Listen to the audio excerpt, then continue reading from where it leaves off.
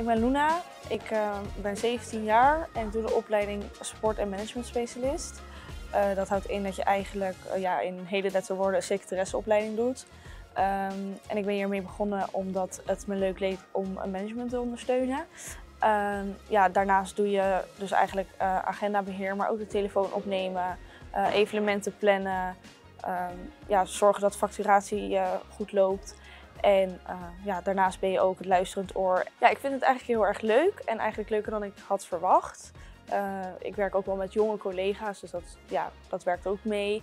En uh, ja, daarnaast, ja, je bent heel erg onder mensen die dezelfde interesses hebben en dat is natuurlijk ook heel erg leuk. Ja, ik denk dat ik het beeld wel een beetje had dat het allemaal heel erg serieus was. En ja, tuurlijk is het af en toe heel serieus en je moet ook wel serieus zijn. Maar ik had niet verwacht dat je ja, zo jezelf kon zijn. En ja, het combineren met werken en school, dat gaat eigenlijk heel erg makkelijk. En dat is misschien nu omdat het nog best wel in een vroeg stadium is van het schooljaar.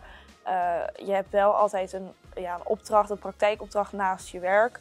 Maar daar krijg je ja, ons weer heel veel ruimte voor om dat te kunnen doen. Ja, ik denk wel dat ik hier lang zou willen blijven werken.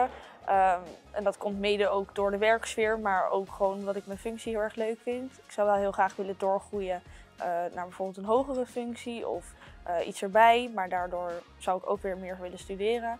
Dus ik zou wel hoger willen, maar ik zou wel zeker binnen het ministerie willen blijven.